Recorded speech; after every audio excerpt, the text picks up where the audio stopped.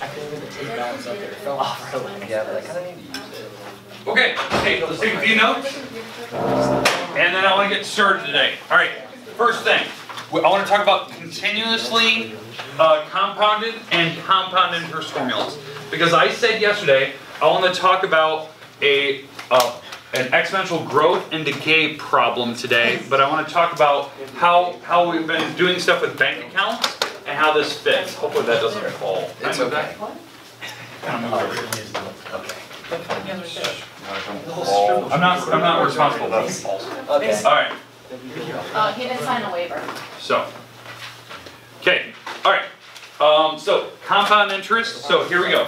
Uh, this formula, this is the formula I'd like you to have. Um, if you haven't written this down, we've had this quite a while ago, but I want to discuss today. All right, Don't step on it. all right, fine. Alright, fine. Okay, this, this formula here, right, continuously compounded, what this is, is you take your principal that you're investing in your bank account, um, or maybe this is a checking account, or, uh, I should say, a credit card, uh, and what this number will give you is what the charge will be at the very end. So what I wanna talk about is like, let's say you bought a brand new MacBook Pro, like the really high-end one, the fifteen inch, like you went all out, twenty-seven hundred bucks, okay? This, this is what you do, you take the rate of what the credit card charges you, and so if the rate for the credit card is, let's say it's uh, twenty-four percent interest, because that's what credit cards are, they're twenty-four. They just um, want to steal your money. Yeah, uh, they charge you interest per month, end is how many times they charge you interest, that's the number of times, what they call compounding. Uh, it's how many times they charge, so then you put twelve up here, times how many years you're gonna go, let's say we go for one year. Like, um, you went for one year, and you didn't pay your credit card, you just like, you bought the MacBook, you're like, I don't really have the money, I'm not gonna pay it until maybe the end of the year, maybe December. Okay, what happens is that you're gonna build, you're gonna build interest on it. Okay, so at the very end of the year, what this is gonna give you, this amount, this A, this is gonna be the amount of money you still owe on that MacBook. It's like the extra money, because you haven't paid it off yet. So what this will do is it will, it'll do a financial charge, and then it will put what your new total is, okay? All right. So here's the concept. So if I, if I take uh, 0.24, divide by 12, I get 0.02, that's 2% per month. Uh, add that to the number 1. So this is 1.02, and then you put it to the 12th power. Okay? What this is going to do, if I do this 1.02 and I put this to the 12th power, this, this is what the interest is for all the 12 months, all those 12 com, uh, compounds. And what this does is it adds the interest into your $2,700, your 2,799. Because it's doing 100% of the money plus a little bit extra 12 times over. And so this amount of money times your 2,799 is a $3,500 computer. Okay? That's the MacBook at the end of the year. And you're like, whoa, What if you? I didn't buy a thirty-five hundred dollar MacBook. No, that's the price of a Mac Pro. Like, I, I bought a, I bought a MacBook. Why is it thirty-five hundred dollars? Because a credit card charges you money if you don't pay it off at the end of the month. So if you don't pay it completely off, that's when they charge you a fee. So what if you paid it in four months? Four months, okay, so we talked about that. So what you do is you take the twenty-seven hundred dollars, so this is the easiest way to do that type of calculation, right? So you take your twenty-seven ninety-nine, you take it times 0.02, okay, 0.02. This will give you what your, your interest is for that month, so point, that's your financial charge, 0.2 times twenty-seven ninety-nine. That's your fifty-five dollar charge at the end of one month. Okay, that's the end of one month. And so that would be a part of your new total. So you take your twenty-seven ninety-nine and you add your fifty-five ninety-eight. That's, maybe this is April and this comes May, this is what the new total will be. Like May first, they give you a bill in the mail. So twenty-seven ninety-nine plus your fifty-five ninety-eight. You now owe, uh, according to May first, twenty-eight fifty-four point nine eight for that MacBook. That's May first. You know, you bought in April, you didn't pay it, so they charged you fifty-five dollars for not paying it. And you keep doing this. But here's the worst part with the credit card. The next month, so now that's May, June rolls around. they charge you the two percent on that number now. And that's the scary thing about a credit card. That's why there's a breaking point on a credit card that you can't escape. Um, where if you're not paying enough money into the credit card that it alleviates this, you'll never pay it off. So that's why people always say that they get in trouble with credit cards and they have to they have to file bankruptcy. Um, because what happens is uh, the bank has, or, or the credit card company has figured out that the interest is building so fast because you're not paying it off that you will never be able to pay it off. And so what they do is they shut you down. They're just kind of not very nice people. No, it's the credit card is great for a single purpose. You buy something, you pay it off at the end of the month. Because if you pay it off before the end of the month, they don't charge you anything. It's awesome. It's like it's like a free money to borrow. But if you don't pay it off, they're like, okay, we just lent you money that you didn't pay us back. We need we need a little bit extra because we have to put that money back in other people's accounts and we can't put it back yet. So we're gonna charge you a little extra fee because you borrowed that money a little bit too long. That's what it is. Um, so a credit card is really smart. You buy, like, what I use it for is I buy gas, pay it off in a month. They don't charge me an extra, zero, zero percent interest, because I'm paying it off before the end of the month. Why do you do that? Okay, why? Because it, uh, credit cards are the fastest way to build credit. Mm-hmm. So it's, uh, the th- three things that really affect your credit score for banks, credit cards, um, student loans, and a mortgage. Like those three things, also, um, there's a fourth one, it's, uh, hospital bills. thought you just said it Those, was three but the, the three Now things you can basically control. No, I can't trust him He's anymore. like me. So, He's just like me, I can't trust him. And why does it go down? credit scores, I think you wanna everything I check learn's a that, lie. makes no sense. when you check it, It's all lies. Oh, um, it, I, I understand that, um, the concept that they always say, like when you check your credit score, like online or you check it somewhere, um, and you check it a lot, that your credit score goes down, because you don't have confidence what your score is. Like, somebody that checks their score once a year, you're fine, but if you check it like every couple months, it means something's wrong, and it's giving a red flag to those credit card What if you're doing really well, paying off your credit card bills, and you want to see if it's helping you? So you check it a lot, but then it's hurting you. And It, it's you're hurting in the not. long run. So they always say what you're supposed to do, like a like a very smart person would check it once a year, just once. Because if you're paying off your bills, you, the credit score should go up. So what I've what I've done it for, for me, because um, for me, I've definitely bought a lot of vehicles in my time. Um, I have, I just know that. Um, it's like every couple of years, I check my credit score because that's the number that I see, right? When I'm buying a car, I get my credit score back. So I always know kind of what my score is. What is your score? Sorry, I'm It's sorry. an eight fifteen. Ooh, that's good. So, yeah, it's pretty, that's Nice pretty work, nice stellar, work. so, um, eight thirty is the top, and I can't get to eight thirty because I'm not like a millionaire or anything like that, You so. could be a million. Um, but I, see, I don't miss payments though, I pay my credit card, I pay my student loans, I don't have any hospital bills because I never go to the hospital, so, Don't say, so- you better hit a desk so, right now. so. Just Never. Knock on wood. That's what I'm We need to knock on wood right now. What? Knock on some wood. Justin. I'm never. Alright. That's not Okay. even real I wood. didn't But, you gotta no, credit nice, scores- never What had. are Kind of important, but that's why I have a credit card. So what I bought my credit card, uh, the one credit card I have in my wallet is the Amazon card, because I use it for this purpose. I buy stuff on Amazon or something, I pay it off at the end of the month. And the best part about an Amazon card is that when you buy something with it, they give you, they give you like a benefit, uh, um, you get, I think, three, no, when you buy on Amazon, you get five percent cash back. So whatever I buy on Amazon, I get five percent of that cash straight back, even though I paid, you know, twenty-seven dollars for the item. I get five percent of that twenty-seven dollars as cash back as a bonus.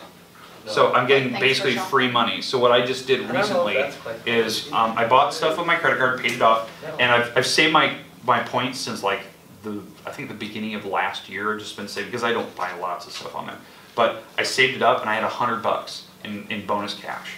So I just bought one of those Amazon tablet things to see what it's like. And it was free, I didn't pay any money for it, it was zero dollars to me, See what it's so. You should save up. And it was just one of those things, it was like- it was- millionaire, I- I- And then you get your eight. Amazon's great because they can give me items that I need like on a normal daily basis. But, you know, using the credit card wisely is what get, gave me those points. So I got a free object just be using a credit card smartly for it, so. But, alright, but why, why I bring this up, why I'm bringing this stuff up, is because what we're going into is continuously compounded problems, which is different than a credit card. Um, and we're gonna talk about exponential growth and decay. So here's the formula that I'd like you to have. This is a continuous compounded problem.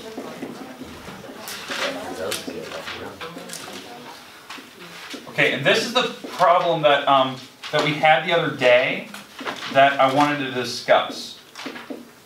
I think they, I think they use T, okay. Um, this problem right here is the actual growth problem, okay?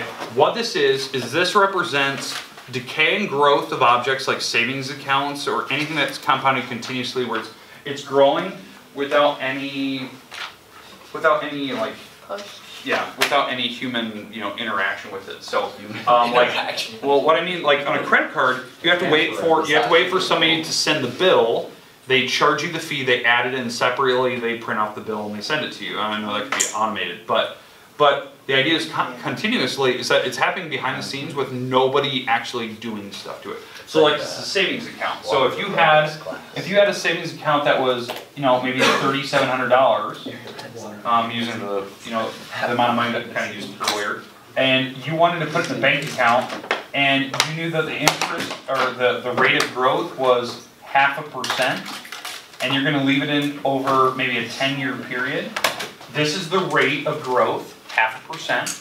This is the time frame in years, and this A is the amount of money that it will be in the end. It's what they call the amount that's vested. It's grown over time. This is the A to the zero, it's called A naught. This is the initial amount of money that you, you invested. That's the initial, it's A to the zero, it's the day zero of this object. Okay? And so I put in my thirty-seven hundred dollars and I let it sit for a while. You can um, buy your Mac Pro with that. Sure, but over ten years, I'm letting this vest, and what, what would happen if I were just to let it sit in my savings? You savings could buy a couple Mac Okay, Pros. possibly, probably not. I could probably maybe buy a mouse. That would be good. though. Alright, so let's do the numbers here, right? So three, thirty-seven hundred bucks.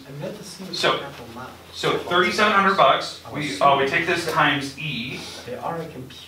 E to the point zero zero five times ten, um, times ten, and the number that it says is that if I let this sit for ten years, it's three thousand eight hundred and eighty-nine dollars and seven, seventy cents. Yeah, You're not making much off it. Yeah, not a lot. But that's a, that's considered a small savings account.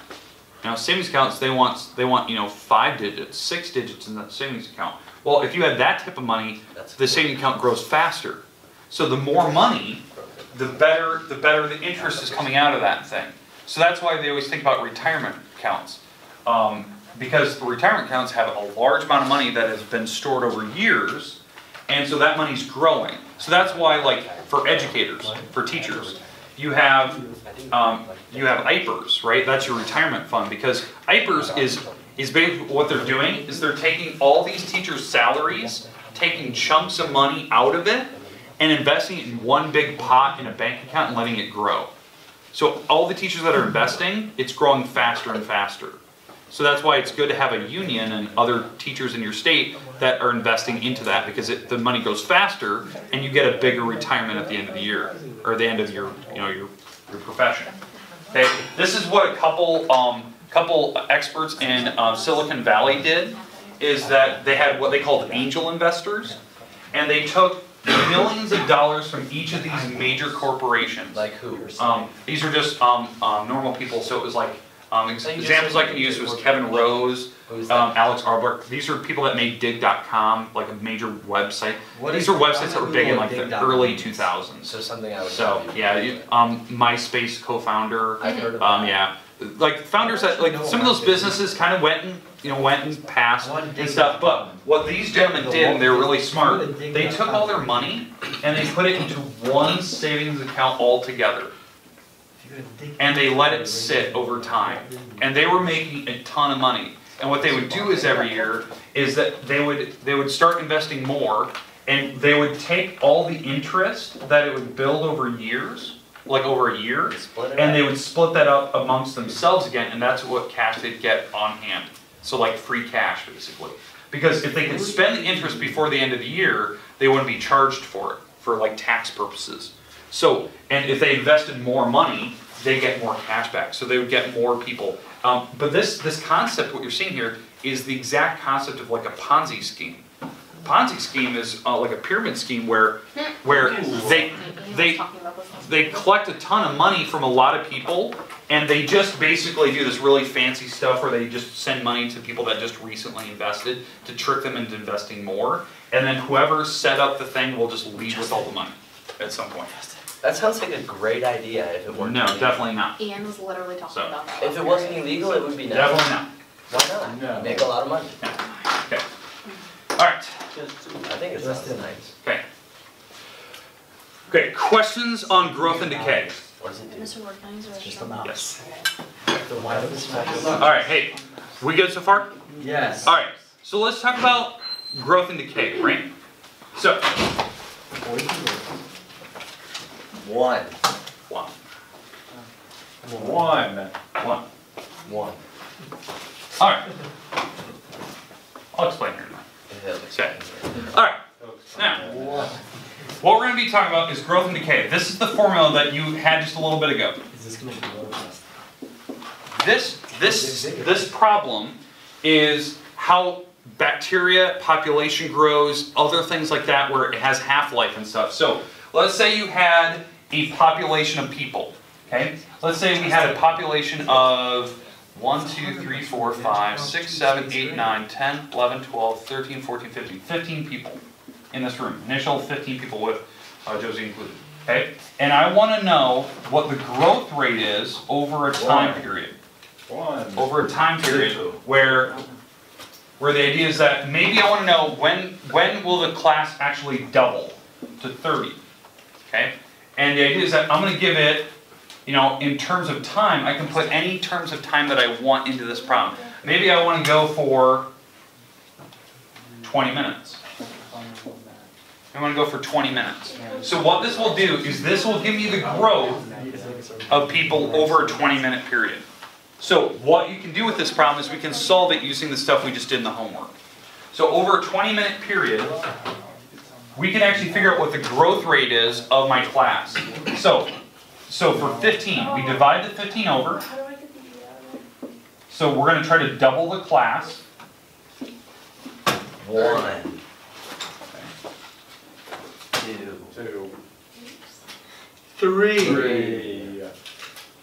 Four.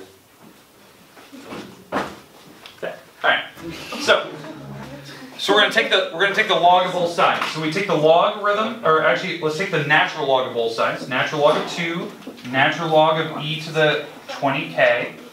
We drop the twenty k out front, because you can drop powers out front of the logarithm.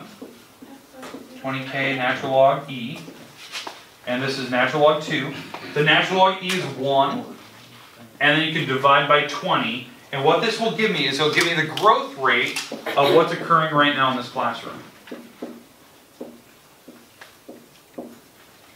And this, what this is over a 20 minute period, is we're looking at what the growth rate is of what Justin is doing right now. Okay? Okay. All right, and what this number is, let's actually look at this number. Again, we're doubling the population. So, two, so two, uh, or actually, natural log of two, I should say. One. Natural log of two. uh, exits. So natural log of two divided by twenty. And the idea here is, this is my growth rate. Five. This is a three percent growth. Six. Seven. Seven. Eight. Okay, you got everyone yet? Yeah. Okay, all right, Justin, you want to explain what we're doing today? Justin, you didn't get yourself. Yeah, that's right. All right, Justin, what were we doing today? We were growing things. Yeah. Exponentially. What, what, what was my example I gave you out in the hall? I was infecting people because I was a zombie. Okay, it's like Walking Dead style. It took, it You're took him, hey, what time did you actually start? I don't know. When did that happen? Like two did minutes ago. What? Like two minutes ago. Yeah, maybe two minutes. I told him to move every 30 seconds and in fact double the amount of people every time. So when he was counting, he did one, then he did two, then he did four, then he did eight, and then he finished out with the rest of the people. It took him two minutes and infected this whole entire class period. Okay. are all dead. That concept is a growth. He doubled the class basically by infecting everybody. And it took him not 20 minutes, it took him like two minutes. So his growth rate was significantly faster than mine. Okay? This is over a 20 minute period if he actually were to slow down. I told him I'd read 30 seconds so we can get it done quick. Okay, this is the concept that the movie Walking Dead to me had the greatest thing that they had going for it, but they never really explored it. That the growth rate of like the zombie outbreak was the coolest concept of that show because it was so incredibly fast. They hinted at it at certain moments. I think the the secondary show they had, which was called um, Fear the Walking Fear the Walking Dead or something like that, where they kind of talked about the actual outbreak and when the day started and where, where it went. Like, if this was a class of 15 people and it took like a minute or two, over an entire population of the United States to infect like everybody, 100% of the population, it would have taken like a month maybe. So like The Walking Dead, like when they actually show that concept of like society breaking down, it was the time span is actually significantly faster. So when you think of like the seasons as like a year, it was more like a couple months. And it can get to that point, which I think was one of the coolest concepts that the show said. And that's why they actually did a pretty good job in the beginning of saying like, okay, it's only been a couple months, and then they went to the next season. They talked about okay, what's happened over the past couple weeks, and they said okay, these are the characters and stuff, and you know they did a pretty good job. But then they kind of lost track of that because it would it would have started speeding up. And the next season came around, they're like, well, this has been three years later, and everyone's changed, and they're all bigger, and they're all older and stuff. And it's like, it would have been like weeks later, not years later. Yesterday. Okay. Yeah, it would have been, it would have been like, literally, it would have been like yesterday, 50,000 zombies were outside. And the next day is 100,000, because they, they would infect at that rate. They double, you know, every couple seconds. But also in The Walking Dead, they're bitten, that's how they're affected, Yeah, yeah, not so, by like. and, and you have to consider that the, the space of the, the world is way bigger than my classroom is, right? This is Yeah, talking about like, if these were individual to get lost, states, it would take a this while. took a while. Okay. Yes, so, that, kind of a cool concept, you guys got to experience that, uh, sorry Josie, you were out of the room at the time, No, but. no, that's fine. But um, it was one of those things like you saw how fast it went. You guys were still kind of clueless. That's the coolest part about that show is that that's kind of what the first couple seasons were. No one knew what was going on. That that concept of the zombie outbreak, like, did anyone really believe it? Like, even those first couple episodes, they talked about, you know, some of the people like, eh, it's not really happening. It's just, you know, it's a TV show, it's a radio thing. But then they actually started to see like society changing and starting to see like cities go down, and that was kind of the, the cool part of the show. You guys got to experience that for like a minute and hear like confusion, like what is Justin doing? He's about to get kicked out of here for interrupting class. I asked him to do it on purpose. Because it was weird, right? Watching him walk around counting and throwing paper down on people's desks for no random reason. Okay? Let alone biting people. I didn't ask him to do that. Did you find someone, Justin? Please no. Alright. But kind of a cool concept. Alright. Alright. Um, page four three three, due Monday. Applications for student counselor due Monday if you want to apply. Uh, that's pretty much about it. That's where I'm gonna end today. So.